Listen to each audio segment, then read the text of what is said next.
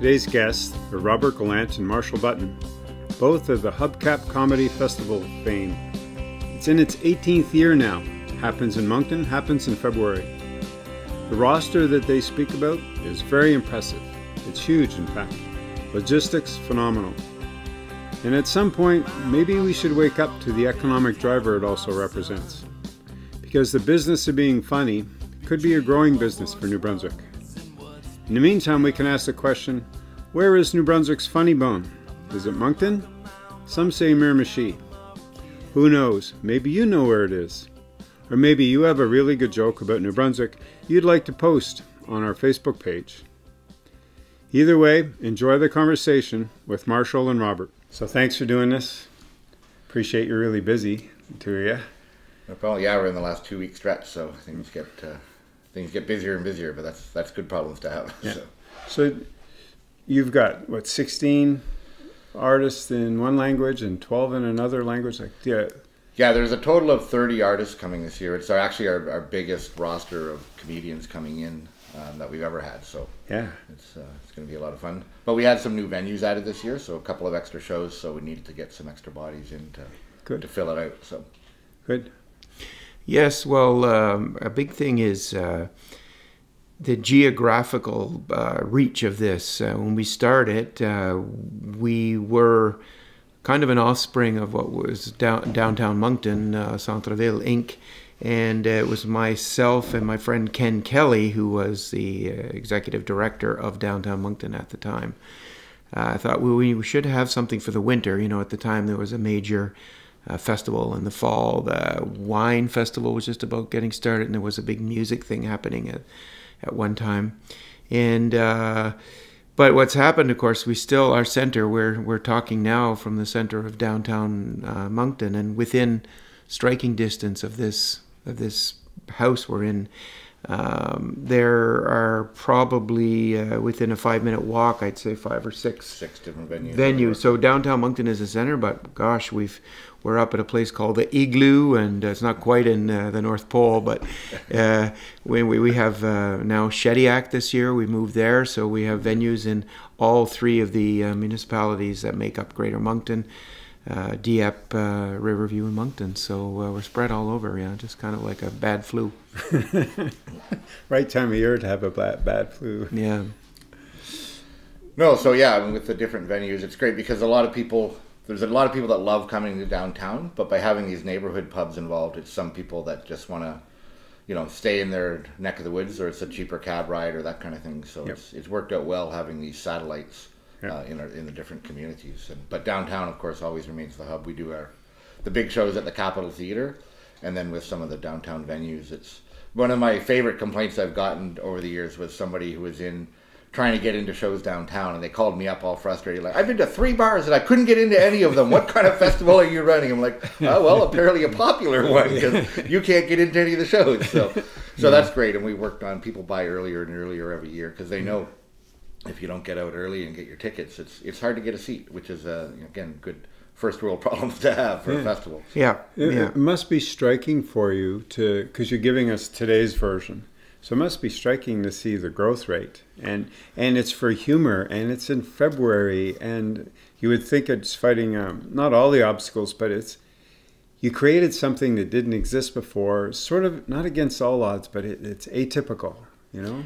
Well, what's what's interesting is the first few years of the festival, we would not struggle, but it wasn't as easy to fill a roster, even though we didn't have as many shows, uh, because the scene wasn't as big. So as I mean, it was not it's not due to our festival, but the number of people who are getting into the business, who are trying their hand at stand up.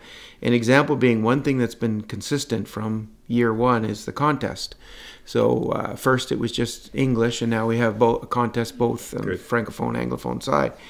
And same sort of thing, you'd have three or four people that someone told them they were funny in the lunchroom at work, or some people were, you know, kicking the tires of it, so to speak. Yeah. But to get 10 people would have been a struggle.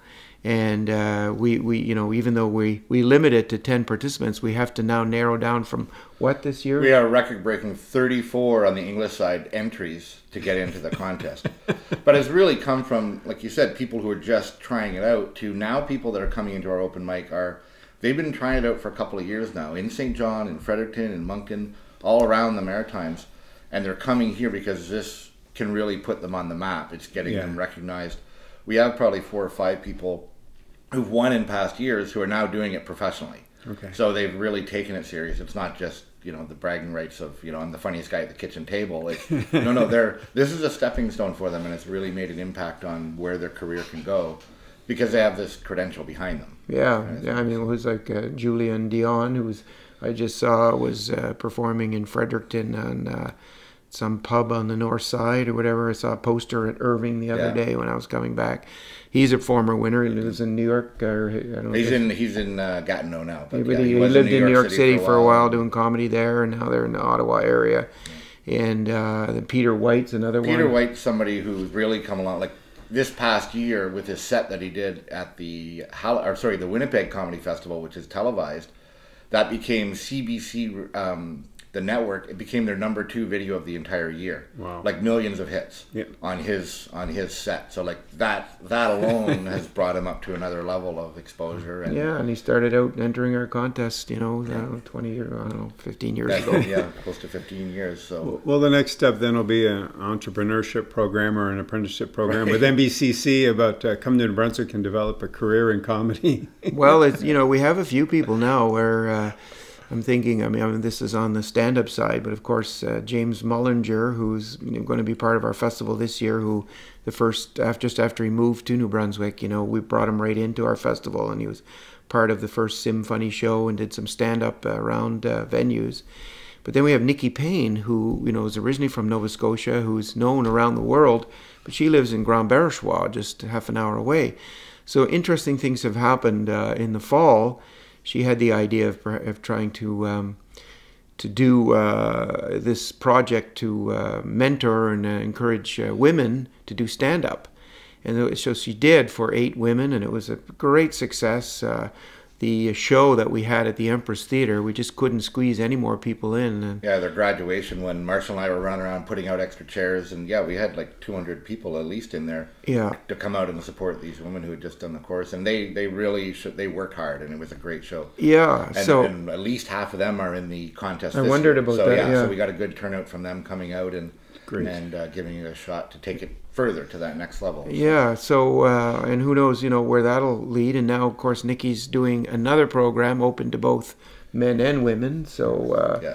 so um, and and uh, wearing all the hats that I do, you know, the the name Hubcap. Well, the Hub used to be the the nickname for Moncton, and Cap being the Capitol Theater, and so we adopted the Hubcap, the actual car hubcap, as the Yep. as the name or the the, the symbol of it. Mascot. Yeah.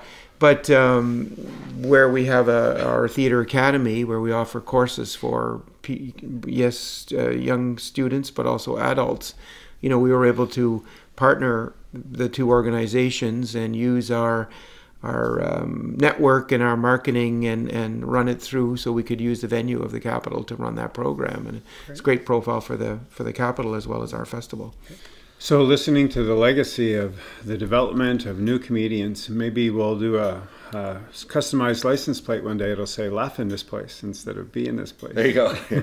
Take over the province. Um, but I mean, one of the things too is you're saying like the development of being able to attract people to the festival. I remember I, I came on in year three, and um, and of course coming from a social work and a policing background, like really not.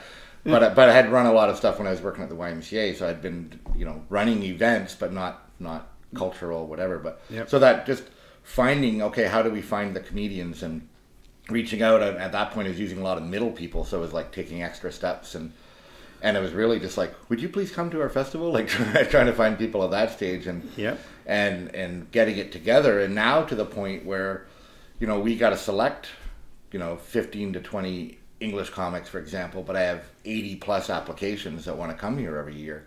Because everybody's Word of firing in you know it's we've developed a name. We treat people like gold when they're here like that whole maritime hospitality thing. And Yeah. and the audiences are so warm here too. It's Yeah. I've been in clubs sometimes in the bigger cities, and you always have that guy, arms folded, like Yeah. make me laugh. and, and Test- he'll just- testing, yeah. Yeah. So the guy's whole thing is like, can I make that one guy laugh? but here, honestly, people are laughing when they come in the door. Like it's February, they're just happy to be out, and that these people came here to. to so it's it's a much warmer audience and a really good time. Yeah. Yeah, and an interesting development that you know we know we are now we've become the agency, right? We Yes. we are, are uh, an organization that has a number of uh, comedians that we can recommend and uh, book, you know, for events and organizations and uh, you know clubs. Uh, but the other interesting thing about New Brunswick, uh, even though the audiences are great, the population isn't. So when we do things like, uh, for example, we do a for the first ten years of the of the festival, the the genesis of it, we used to do these two revues. We started with the English, and then there was the Acadian revue, and each of them would play during the festival. That was a big part of it. But then they would tour all over the province because they had to. Like if you wanted to do more than one or two shows, Yeah. uh, you really, you know, kind of had to spread it around. And so that, as a result of that, the brand got around to places like Dalhousie, Saint John, uh, uh, Grand Falls, uh, you know, Woodstock, uh, Bristol, and so now people will make this the destination, even though we're not. You know, we do other tours. We've done, you know, at least one tour a year, I believe, every year of the festival. But um, we, um, you know, we're getting it around the whole province so that the province is now aware of this. Uh, They'll come to Moncton for the show, so we're getting Yeah. a good. And I mean, everybody from up north pretty much has family in town, so Yeah. yes, it does pick up the hotel industry as well too. But a lot of it, you can't really track that way because it's they're coming from, especially on some of the big francophone shows, they're all coming from the peninsula, coming down and they're staying with family and Yep. and going to the shows. So we track that by looking at where the ticket sales are coming from. But it, it's been really interesting that it is turning into a bigger and bigger tourist attraction in the middle of winter. But Moncton also, and so you're gonna watch shows and go shopping, right? So well, no, the- I, the real reason they're coming is because their family have electricity. yes, yes, and they're coming to get warm up and be able to cook things. exactly. That was the case last year. Oh my God, what Yeah. a schmozzle there. That was a tough year for Yeah. the peninsula. Yeah, Big time.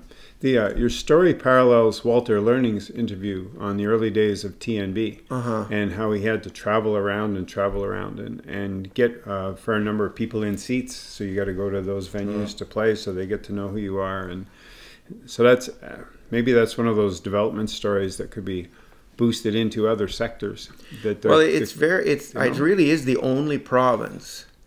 I mean, you know, the only province that is like that because even sh- even PEI, which the whole province has the population of Greater Moncton, Yeah. but for the months that the entertainment scene is active, the population quadruples, or you know, because of all the tourists Yeah. and, and all the tours coming. So they can run something like Anne of Green Gables or Mamma Mia. the next big it. musical, you know, Yeah. all you know for three or four months and draw on that. But you you know, in in Nova Scotia, you have Halifax, uh, even Newfoundland, like St. John's is big enough. It's that much bigger than.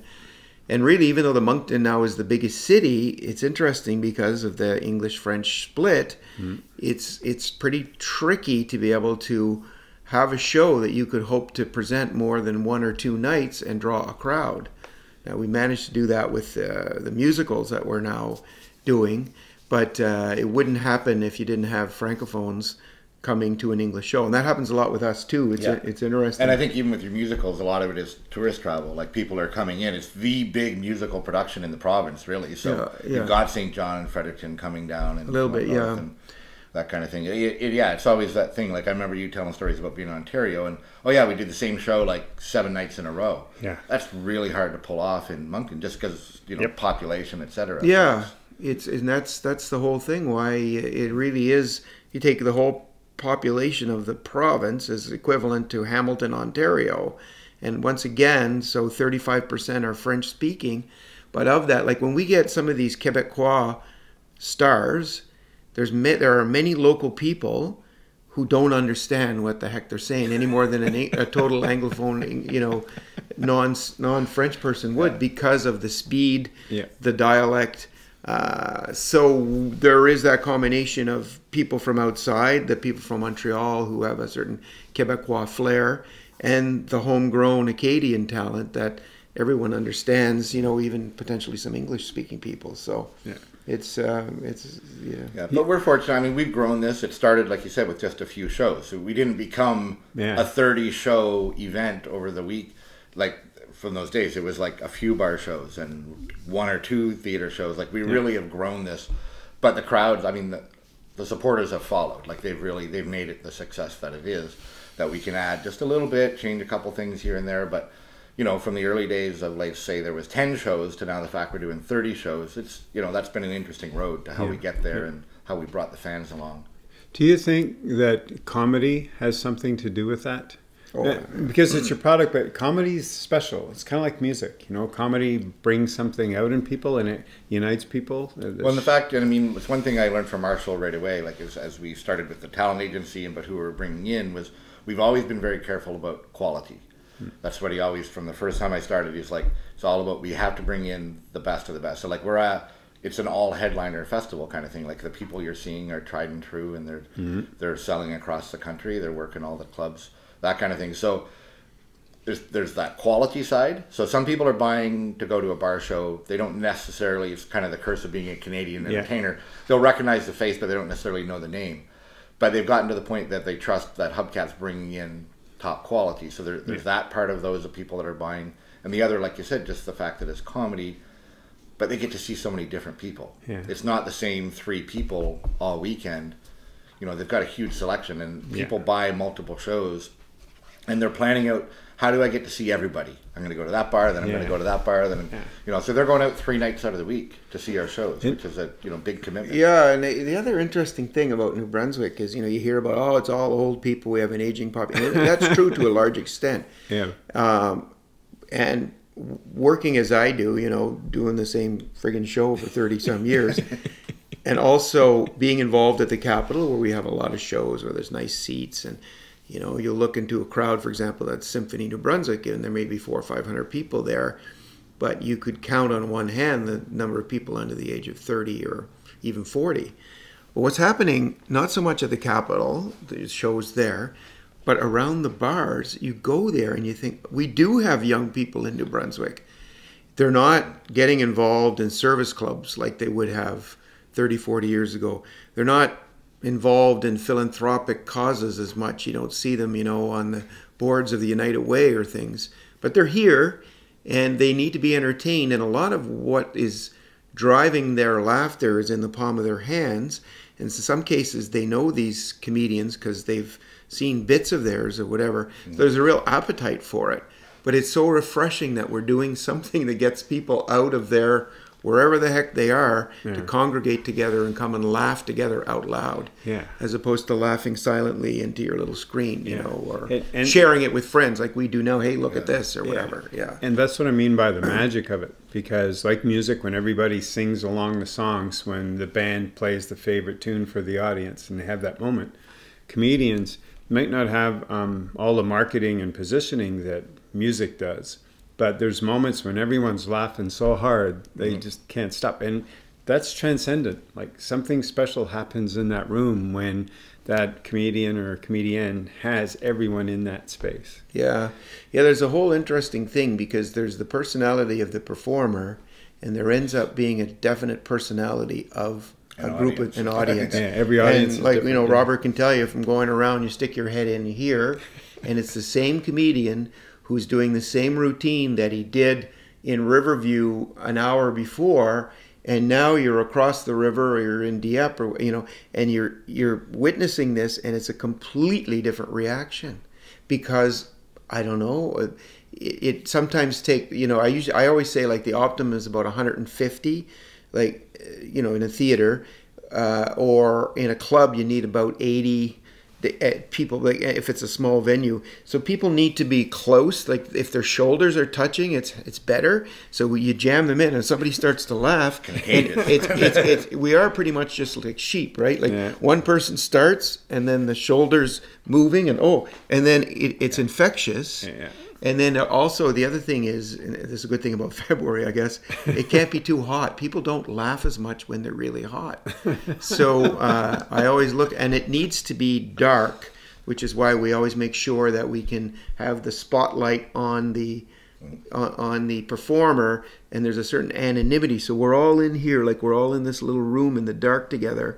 And then one person starts to laugh, and if you have three or four really good laughers, Yeah. they carry just as three or four comedians can carry a whole. Well, I've been at some shows where there's not those belly laughers in the room, and people are having fun, but they're laughing behind their hand, and because they're like they don't have permission to laugh out loud. Yeah. But once you get two or three of those belly laughers going, and everybody's like, "We're allowed to laugh out loud," and then they just let it go. Because it's I feel bad for the comedians sometimes because they think they're out there dying. Yes. But it's like no, no, they're enjoying the show. They just don't know they're allowed to laugh. Like Yep. so, you got to get that out. And once it starts, it just rolls in waves, right? Like It, it is a weird thing because, you know, why is it that humor is such an important tool?